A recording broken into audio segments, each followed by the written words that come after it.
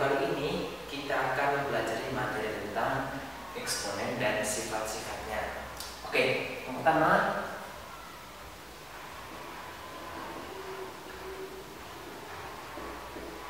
Yang pertama kita lihat dulu bentuk dasar dari eksponen.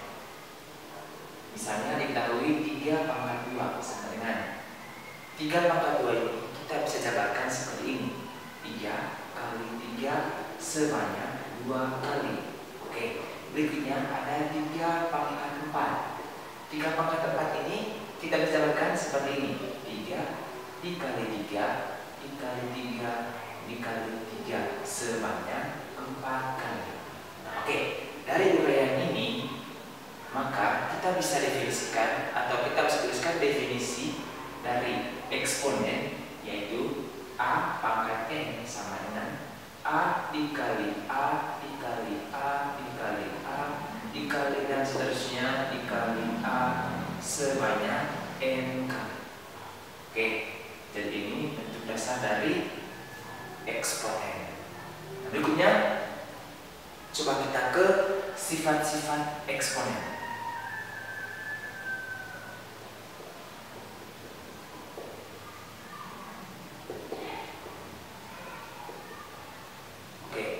sifat yang pertama A dipangkat N kali A pangkat N sama dengan A pangkat N tambah N Sifat yang kedua A pangkat N dibagi A pangkat N sama dengan A pangkat N kurang N Sifat yang ketiga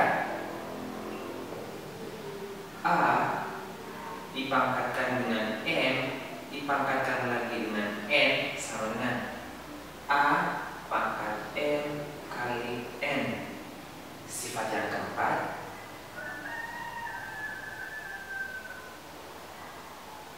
sifat yang keempat A kali B pangkat N sama dengan A pangkat N dikali B pangkat N Sifat yang kelima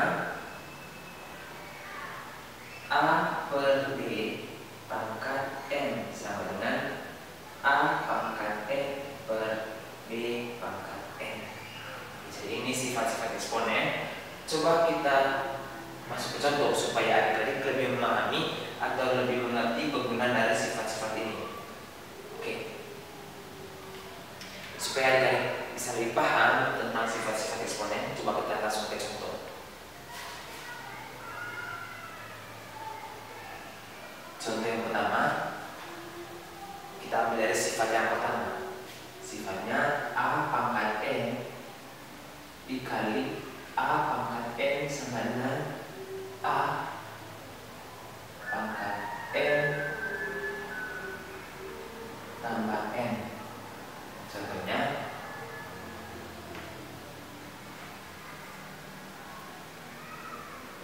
3 dipangkat 2 dikali 3 pangkat 5 sama dengan Oke. Soal ini kalau misalnya kita jabarkan berdasarkan konsep dasar maka kita peroleh di sini 3 dikali 3 dikali yang pertama sebanyak dua kali yang kedua sebanyak lima kali. 3 dikali 3 dikali 3 dikali 3 dikali 3 dikali 3 selanjutnya kita lihat. Tiga ada berapa tiganya? Hitung satu dua tiga empat lima enam tujuh. Oh jadi tiganya ada tujuh. Berarti tiga pangkat tujuh. Nah ini ketika kita menggunakan konsep dasar dari atau bentuk dasar dari eksponen. Tapi kalau kita menggunakan sifat akan lebih mudah lagi ya jadi. Nah jadi kita lihat dari sifat yang pertama dia bilang di sini A pangkat dikali A pangkat N sama dengan A pangkat N tambah N. Jadi pangkatnya dijumlahkan.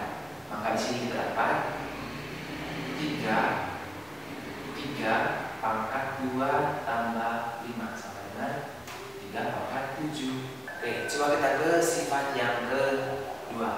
Kita tulis sifat yang kedua A pangkat N dibagi A pangkat N sama dengan A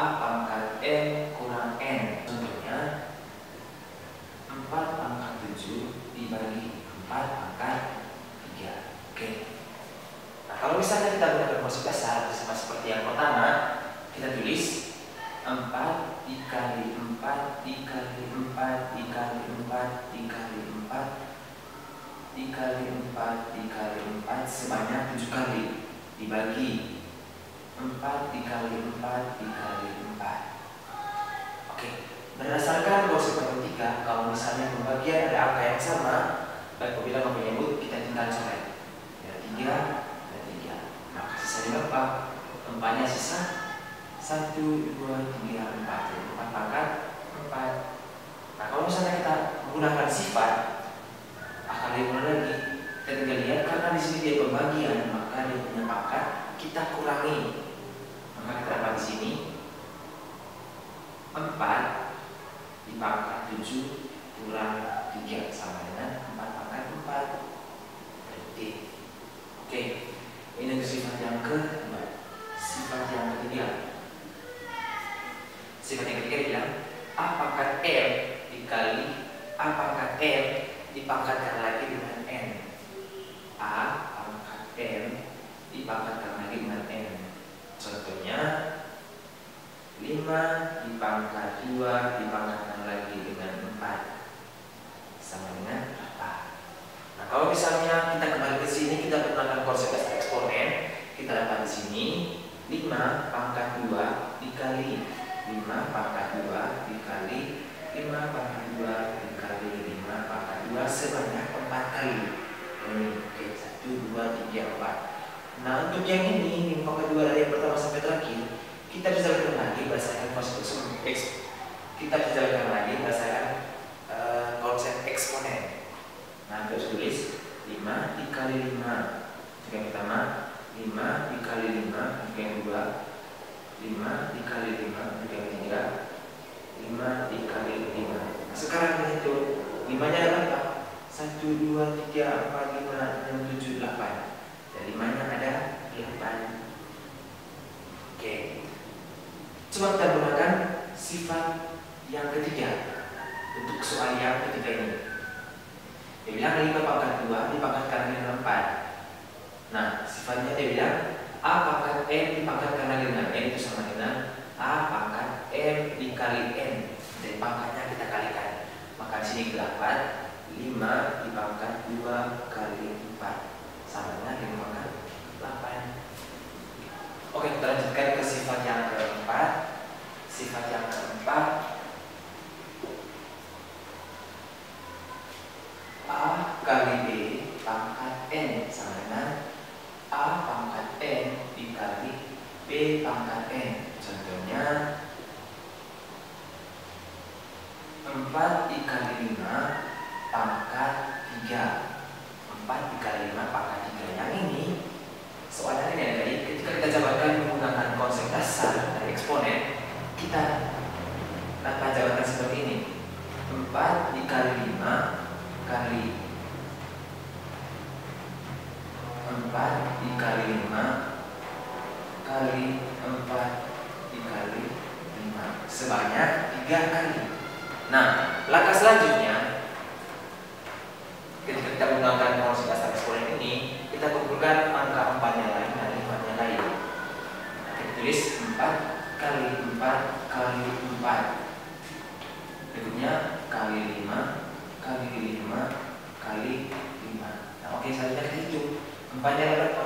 1, 2, 3 Oh ada 3 Kita tulis 4 pangkat 3 Dikali 5 nya ada berapa? 1, 2, 3 5 nya ada 3 Maka 4 kali 5 dipangkatkan dengan 3 sama dengan 4 pangkat 5 dikali 5 pangkat 4 pangkat 3 dikali 5 pangkat 3 Oke, dengan menggunakan sifat yang keempat ini yang kali 5 lagi penyelesaian dari kita tinggal lihat Sifatnya bilang ketika A dikali B N akan mendapatkan hasil A pangkat N kali B pangkat N.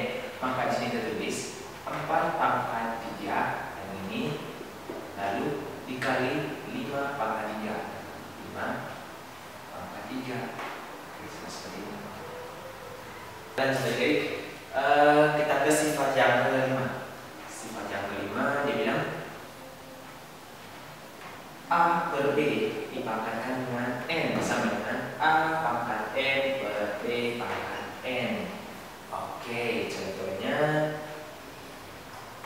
3 per 4 dipangkatkan dengan 2 Oke, 3 per 4 dipangkatkan dengan 2 Nah ini kalau kita bisa kalau misalnya kita menggunakan konsep dasar eksponen kita dapat nilai sama seperti yang contoh sebelum-sebelumnya. Kita 2, 3 pangkat 4 dikali 3 pangkat eh, 3 per 4 sudah baik 3 per 4 dikali 3 per 4 sebanyak dua kali oke. Nah selanjutnya yang ini kan sama halnya seperti ini. 3 dikali 3 per 4 dikali 4 oke selanjutnya tadi ada. Tiganya ada berapa? tiganya ada tiganya ada 1, 2 oh tiganya ada 2 pada berapa? pada ada 1, 2 jadi hasilnya 3 pangkat 2 dibagi 4 pangkat 2 dengan menggunakan yang ini kita bisa langsung seperti ini. Kita bisa langsung 3 pangkat 2 3 pangkat 2 per 4 pangkat 2 4 pangkat 2 oke ada mudah nanti bisa? oke bisa ya? Oke coba kita ke sifat berikutnya. Nah, jadi ada banyak sifat dari sifat-sifat dari tadi ada banyak. Ini sudah lima dan sudah tadi yang keenam. Yang keenam a pangkat nol sama dengan satu. oh ada lagi a pangkat nol sama dengan satu. Kira-kira kenapa? A pangkat nol sama satu? Coba kita perhatikan a pangkat nol? A pangkat nol itu sama dengan a pangkat n kurang n? A pangkat n kurang n? Dari sifat yang ke dua sifat yang kedua bilang a pangkat n kurang n sama dengan A? Pangkat N dibagi A pangkat N hasil yang kedua oke di matematika kan kalau misalnya pembagian angka yang sama atau bentuk yang sama pembagian dengan karakter yang sama atau misalnya seperti ini A pangkat N dibagi A pangkat N sama maka dia akan menghasilkan satu. Bisa dikali? Jadi A pangkat 0 itu sama dengan Oke, ada lagi sifat yang ketujuh, sifat dengan dengan pangkat negatif. A pangkat negatif satu sama dengan apa? Oh, A pangkat negatif itu sama dengan satu per A. Satu per A. Kira-kira dari mana dapat satu per A? Oke, coba kita buktikan. Satu per A. A pangkat negatif satu apakah negatif ini itu sama halnya A dipangkat 0 kurang 1 A pangkat 0 kurang 1 Kembali ke sifat yang kedua Ke sifat yang kedua Kita tulis di sini pada sifat yang kedua A pangkat 0 per A pangkat 1 A pangkat Merasakan sifat yang kedua A pangkat 0 kan sama dengan 1 A pangkat 0 sama dengan 1 Maka yang pertama ini kita tulis 1 per A pangkat 1 Jadi kita dapat Kita dapat di sini A pangkat negatif 1 itu sama dengan 1 per A pangkat 1 Jadi pangkatnya jadi positif Misalnya Coba kita langsung contoh untuk soal 7 Misalnya Ada